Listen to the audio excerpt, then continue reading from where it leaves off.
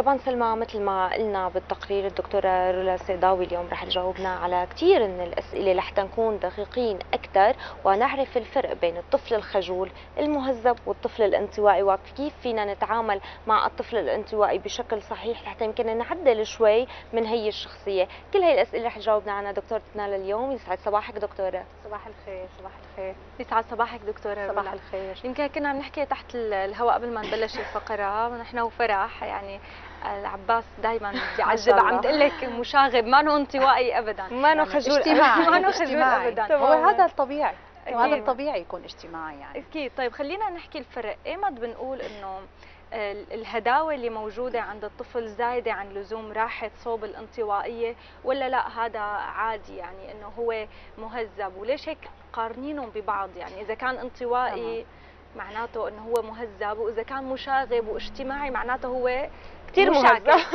هلا بداية آه، ال- الانطواء أو الخجل هو نتيجة من نتائج الخوف، يعني هي بنظريات علم النفس. هلا آه، نتيجة من نتائج الخوف هلا بتأثر على قدراته، على تقدير ذاته، على قد... بالنسبة للطفل على قدراته الحركية، حتى الذهنية، حتى التركيز بالمادة ال- الدراسية إذا كان هو بالمدرسة. آه، طبعا هلا ذكرتي من من شوي حضرتك إنه إمتى بنقول هو خجل زائد وإمتى بنقول لا هو خجل طبيعي. هلأ هون نحن عنا في عنا عدة أسباب أسباب الخجل وأسباب الخجل الزائد وهي أهم سبب من الأسباب هو التربية بشقيها السلبي أو الإيجابي. تمام. دكتورة طب خلينا نعرف نحن أسبابها بشكل مفصل وإمتى نحن بنقدر نكتشف فعلا هل الطفل هو عم يستهجن؟ يمكن آه، غير أمه وأبوه لأنه مثل ما بنعرف ببداية تكوين الطفل نعم. آه، بيتعرف على هدول الشخصين أو العائلة المقربة كتير وبيستهجن يمكن أو بيستغرب بقية الأشخاص. وإمتى فينا نقول فعلا هذا خجل وانطوائية تمام. هلأ آه، نحن بنقول دوما قلنا هلأ التربية بشقيها السلبي أو الإيجابي. أول أمر بينشأ عليه الطفل هو بيشوف والديه. كيف بيعلموا كيف بيربوا. إذا كان عندهم خجل زائد خجل خارج عن هلا الخجل مطلوب.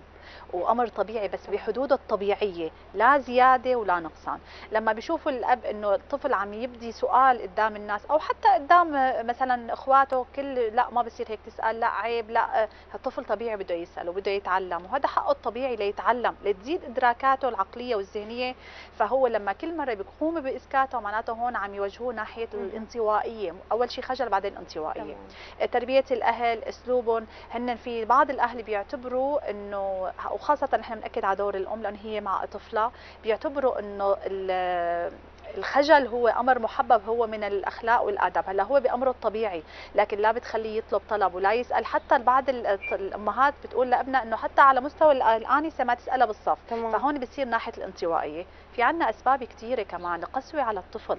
مم. يعني عنا قسوة زائدة على الطفل بتسبب له أمام رفاقه وأمام المجتمع خجل وانطوائية حتى أكثر من خجل مشكلة نفسية. وعنا بالمقابل بالنقيض كمان إحنا بنقول الدلال المفرط الزائد كمان بالبيت فهو بشو بصير أخذ كل راحته بيروح على المدرسة والمجتمع بصير عنده خجل زائد لأنه ما راح يوفروا له كل متطلباته. أكيد. طيب هون بينشأ في فرق بين شخصية الطفل شخصيته بالبيت. بالتالي الأهل ما بيقدروا يعرفوا إذا هو عم بيعاني من مشاكل بيكون متفاعل بالبيت نعم. كثير مثل ما قلتي.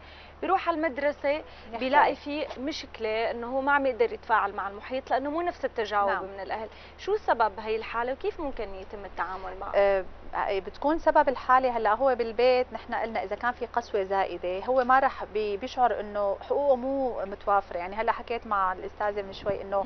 الطفل الطبيعي يكون ما عنده عنده يعني ما عنده هذا الخجل بيسأل بأمر طبيعي. طبعا بنعلم أبنائنا بدك تطلب طلب لو سمحتوا بأدب. هذا أمر طبيعي ومحبب وضروري للطفل. الأدب الاحترام احترام الكبير هذا حلو. بس مو نعلمه إنه لا تسأل لا تطلب. أحيانا ممكن بعض الأمهات بيصطحبوا أطفالهم بزيارة بيقولوا له إنه حتى لو قدموا لك ضيافة لا تاخذ عيب. طب هو هون بصير بيخجل. هو هذا أمر طبيعي وحقه يعني. هو أكيد. طفل وهو أنا بعتبر الطفل مثله مثل الكبير له حق يعني. يعني أكيد. فهون النقطة الأم بتأكد على الطفل بيطلع للمجتمع هو محروم من أبسط حقوقه بصير بيخجل من رفاقه لما يكون محروم من أبسط حقوقه فهو بيخجل أمام رفاقه. آه، طبعا إحنا ما عم نقول الدلال الزائد نعطيه للطفل نعطيه كل شيء مباح له لا لكن بشروط وبحدود وبتوازن حتى يشعر إنه مثله مثل رفقاته. هلأ ممكن أنا ما امن لطفلي أمر معين أنا ما فيني باستطاعي مثال ال- قدراتي ما بتقدر المادية لكن أنا ممكن أشرح له إنه هالفترة بعد فترة بتتحسن بجيب لك إياها ما خليه بخليها نقص بنفسه. هذا أمر بالنسبة للخجل. لما نروح للطرف الثاني الانطوائية هي نتيجة والأكثر القسوة على الطفل والضغط على الطفل إنه لا يسأل ولا يتكلم حتى إذا حدا سأله ما يجيب يعني. فهون كثير بنأكد حتى أحيانا مثلا آه، في نقطة أنا بأكد عليها للأمهات بيكون بمكان بيجي بده يسلم بده يسلموا على الطفل فهن بيوقفوا له لا لا خليكم فهو بيشعر شوي بحسره بنفسه يعني. إنه لا هذا الطفل يعني لو عمره خمس ست سنوات إذا حب حدا يقوم يوقف يسلم عليه يحاكي انه يتركه بأمره الطبيعي يعني. تمام. دكتور السؤال إمتى بتبلش تتبلور شخصية الطفل إمتى بتحسي إنه نحن فعلا قادرين نتحاور معه؟ بعض الأمهات سلمى بيقولوا بنبدأ معه من الشهور قبل حتى ما ينطق نحن بنحاكي لأنه الطفل كان بالعقل الباطن بخزن وبعدين يمكن بيفرجينا هذا الشيء.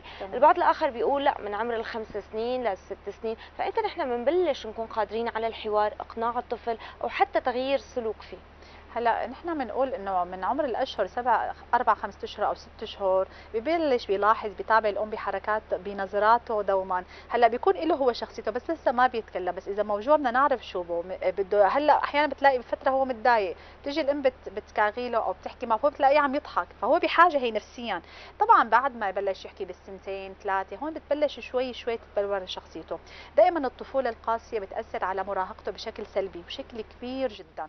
يعني ما نقول نحن إحنا حياة قاسية على الطفل بالمراهقه وفتره الشباب لا هلأ رح نرمم.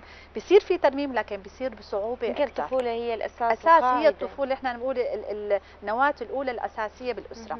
فهون نهتم كثير نعطيه حقوقه حرية الأسئلة والتكلم والتصرف. طبعا وقت نكون بمكان أمام شخص كبير بالعمر نقول له هلأ بتحترمه. أنت مثلا قاعد مكان اجى شخص كبير هم نعلمه الآداب والعادات الحسنة والأخلاق. إنه لازم تقوم له هذا رجل كبير أو امرأة أو مع أغراض ممكن تساعد. هي هي ضرورية.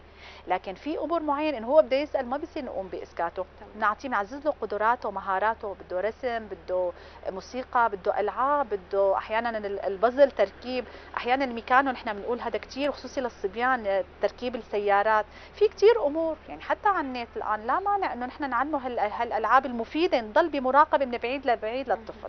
نعم.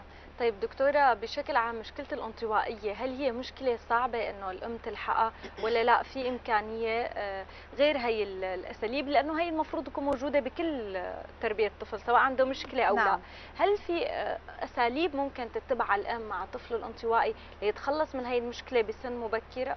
أكيد هلأ في أساليب. أول شيء بتكون إذا كان بالمدرسة تواصل مع المدرسة مع المرشد التربوي. هلأ أنا بقول مشكورة جهودها دوما إنه وزارة التربية دوما حاطة إنه بكل مدرسة مرشد تربوي موجه تربوي جدا مفيد لأنه قد يكون هو أقرب للطفل لأنه هي مهنته هو خبرة بهذا الأمر. فهي كثير بتساعد الأهل. أول أمر. أمر الثاني نخليه هو يعبر عن نفسه عن ذاته. الأمر الثالث ندخله بنشاطات الاجتماعية سواء تعلم الرياضه كرة قدم أو مثلا سلة آه، أي نشاط رياضي خاصة إذا بنات أو يعني صبيان أو بنات مسرحيات أحيانا بتصير بالمدرسة بالنوادي هي كثير بتعزز هو يمثل دور بصير هو بيشعر بحريه ممكن أنا بقول دوما للأم إنه بالبيت تخلي نعمل مثل لعبة آه، أمام الطفل الانطوائي إنه كل واحد عنده مثلا أمر معين حابب ينفذه. خلي كل واحد يحكي رغبته.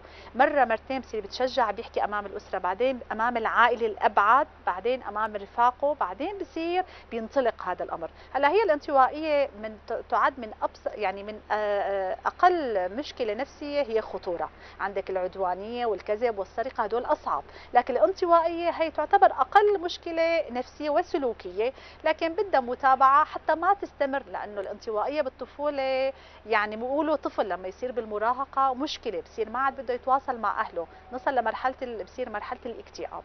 تمام.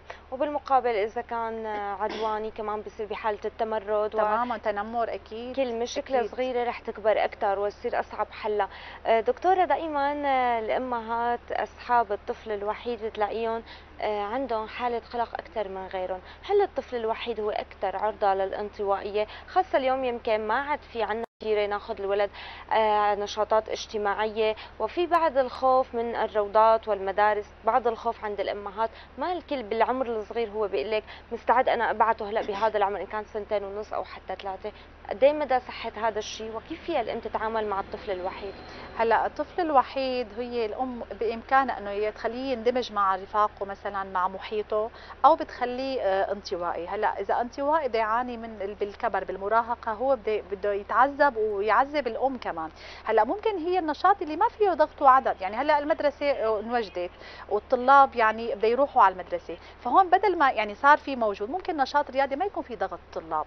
ممكن نشاط اجتماعي. ندوة آه، رسم يعني شيء ما يكون عدد قليل أنا بختار له. هذا متوافر يعني موجود دائما. ممكن مثلا بتعرف آه، صديق له أو صديقين تدمجوا معهم دوما بنشاط معين حتى يجي لعنده على البيت أو يروح لعنده تضمن هو كمان تربيته وسلوكه. يعني حتى ما نخليه يشعر بهي الوحدة. لأنه الطفل الوحيد إذا ما كان عنده محيط من عائلته أول شيء بيبقى من أقارب أولاد الخالة أولاد العم بعدين بيطلع شوي شوي لرفقاته بالمدرسة. بده يع... هو يشعر بنقص وما راح يرمم هالنقص غير لحتى يكبر يصير عنده بالجامعة. فهو بده يتألم شوي شوي. ممكن الأم إذا كانت مشغولة عن ابنها ما تشعر بهذا النقص اللي عند الطفل. يعني ممكن تكون هي موظفة عاملة إلى آخره. فهون ضروري نأكد إنه هي تدمجه مع أصدقاء. لو له صديق واحد يعتبره هذا أخ له هذا كثير ضروري للطفل. أكيد. يعني نصائح متعددة اليوم قدمتي لنا إياها. بنتمنى كل الأمهات اللي تابعوا الفقره يكونوا استفادوا منها.